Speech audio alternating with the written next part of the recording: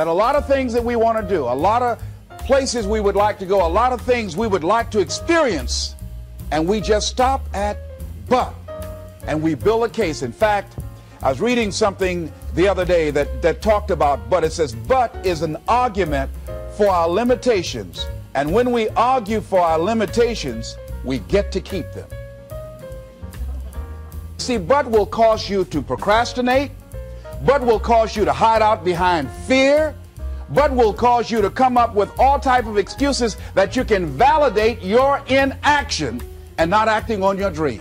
And right now, more than ever, people need to look for ways to live their dream. People need, need to look for ways to make it on their own. There is no such thing as job security. There's no such thing as a storm proof or tragic proof life. There are no guarantees today, ladies and gentlemen. The illusion is gone. There was a time when, when we graduated from high school, you were told, go to college and get out, and you go and work for a corporation for 30 or 40 years. They'll give you a gold watch and you'll retire. Special announcement that day is gone. that day is gone, never to return again. So instead of people living in fear, feeling stressed out, feeling powerless, feeling like victims, I think it should be a time that we need to begin to look at ways that we can become an active force in our own lives. Look at ways when we can decide to take charge of our own destiny. Look at ways when we can decide to design a life of substance and begin to truly live our dreams. And it's time for people to decide, I'm ready to get on with my life. Shake somebody's hand on your right and left. A guy named Bob May said this, say, don't let nobody turn you around. Do that right quick. Now, you know, a lot of people say, I'm going to live my life one day when things get right. When I get all my bills paid. When I get my feet on the ground. I say, what have you been walking on? See, there are no problem-free moments. A guy named Dimples had a record one time called If It Ain't One Thing, It's Another. And I say if it ain't one thing, it's 12 others. Always something there to build a case on why you can't move on, why you can't grow to the next level, why you can't begin to manifest your greatness, why you can't begin to live life on your terms. Always something there to block you, to keep you where you are, and keep you from beginning to develop your true greatness. Always some fear. How do we handle it? And I'm saying that if you've been hiding out behind but, if you've been using the fact that you don't have enough money or you don't have the education, take it head on. Go get the education.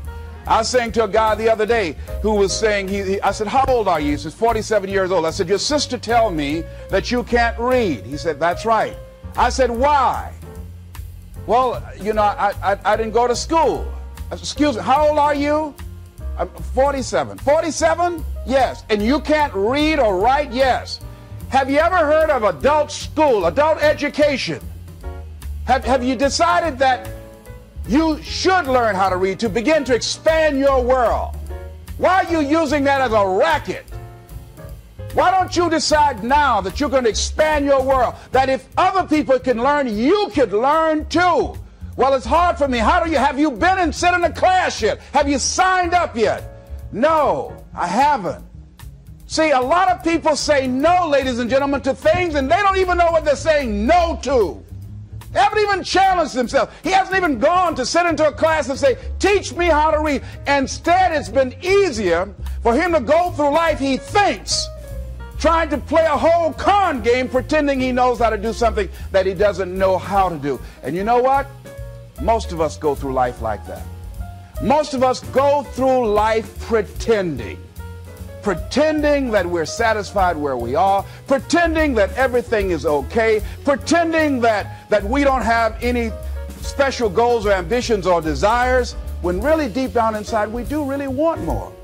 But if you look at our behavior, if you judge based upon what we do, that really will tell you some true stories about people because you have to judge a tree by the fruit it bears, not the fruit that it talks about. See, a lot of people pretend that they want more out of life, but all you have to do is watch their actions.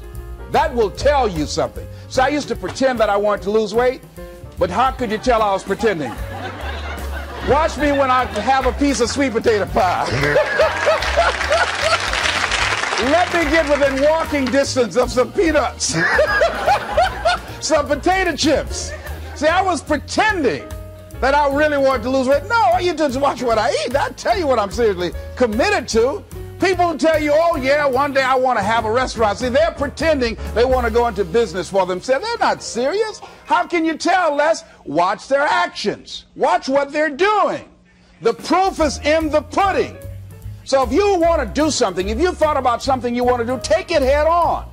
Decide that you're going to start looking at it, start doing research on it, start tackling it start becoming involved in whatever and wherever it might lead you to begin to explore the possibilities in that particular thing that you're seeking so that you can begin to learn all you can about it. Decide that you're going to face it, that whatever shortcomings you have, that you're going to strengthen yourself there. Whatever training that's required, that you're going to go get that training, that you're going to get started right now. George Washington Carver would say, do what you can where you are with what you have and never be satisfied. S.B. Fuller used to say, and you heard Joe Dudley talk about, always strive to be more than that which you are. Yeah, don't get satisfied with yourself. Always know that wherever you are, you can enjoy more, that you deserve more. But most people, you know what they do? Most people go through life quietly and safely tiptoeing to an early grave. Find out what it is you want and go after it as if your life depends on it. Why? Because it does. People that have found their passion, people that found the things that they love, people that have found the things that they can pour their lives into, those people live longer. I was in New York and I had to do a seminar at a special church and a guy by the name of Reverend Johnny Youngblood. And I said, How is it that you were able to build this big housing facility and got all of the various community and religious groups together to, to have this dwelling for 2,000 residents that were, were once homeless? How were you able to take on this responsibility? Wasn't it overwhelming? He said, the kind of work I do, he said, it's in me. I've got to live what's in me. And I think that's everybody's desire in life. You got to live what's in you. Life is just too short and unpredictable. But what, are, what do we say? But, uh, but there always be tomorrow. Oh, no. There's no guarantees you're going to show up tomorrow.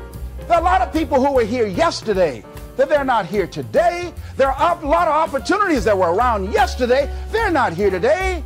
Oh, you can wait, but you know what Abraham Lincoln said? Well, good things might come to those who, who wait, but only the things that have been left over by those who hustle. So who want to go through life picking up leftovers? You deserve much more than that. The leftovers is somebody has left you. So take it head on, begin to explore. Here's something else. Decide to do it now. Decide whatever you want to do, that you are now going to become actively involved right now, exploring the possibilities for you. That you're going to look at it and do just a little bit of it right now. When I decided to become a speaker, I didn't just quit my job and just ran out and say, I'm a motivational speaker. No. What I did was, I decided to start looking at other people that were involved in the speaking profession. I volunteered to work with some speakers so that I could learn. Whatever you want to do, get your feet wet. Gain some experience doing some volunteer work in the area and find out whether or not this thing you want to do will fit for you. A friend of mine told me he wanted to have a restaurant. I said, Have you ever operated a restaurant before? He said, No. I said, Well, really, you don't even know if you want one. I said, What's your expertise? What do you bring to the table? He said, I can cook real good. I said, But what about the management side? What about the business part of the restaurant? You're not going to be cooking all the time. Somebody's got to receive the money. Who's going to manage the personnel? He said, You got it right. You got a point there. So this guy got a job in a restaurant in the evening time on a part time basis. After doing that for a while, he said, You know what? I think I just want to be a chef. he said, After working there, people didn't show up to work. He, he said, It's hard to find the help people weren't responsible. The headaches, the guests were just giving him problems day in and day out. They weren't ever satisfied. He said, No, I just think I'll stick to cooking.